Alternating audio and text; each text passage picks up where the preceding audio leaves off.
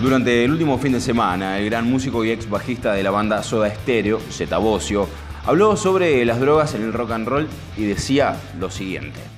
Es algo que forma parte de, formó parte de aquella época quizás y de, de la Más cultura, chico. ¿no? De la cultura. Antes era una cosa que, que pertenecía al ambiente artístico. No teníamos ni idea de dónde nos estábamos metiendo. Éramos chicos de clase media, comunes y de hecho estuvimos un largo rato eh, en, ese, en ese plan. Hoy te vamos a presentar un top 3 con músicos argentinos hablando sobre uno de los mayores tabúes del mundo.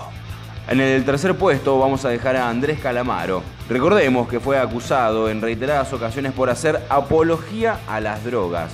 Pero yo me quedo con esta. Mirá. ¿Qué pasó? Está tildado de hacer apología de la droga. ¿Qué hizo ahora, El tipo fue hasta el local de zapatillas con su novia Micaela Breque y Sí. los medios ya lo acusan de hacer apología de la droga. Eh, por tener una remera con una hoja de marihuana. Para tanto me pregunto yo, pero... El segundo puesto es para Pablo Lescano, haciendo mención, en este caso, a superar las drogas, pero reconociendo haberla pasado sumamente mal.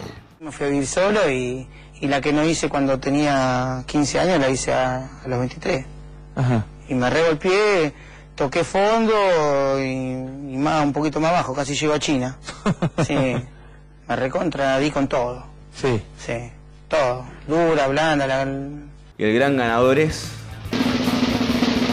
Cristian El Piti Álvarez, como no podía ser de otra manera. Durante una entrevista en el año 2012 cuenta sus experiencias con las drogas. ¿Estás tomando ¿Qué cosa? drogas? La mitad que tomaba antes. eh, tomando por distintos lugares.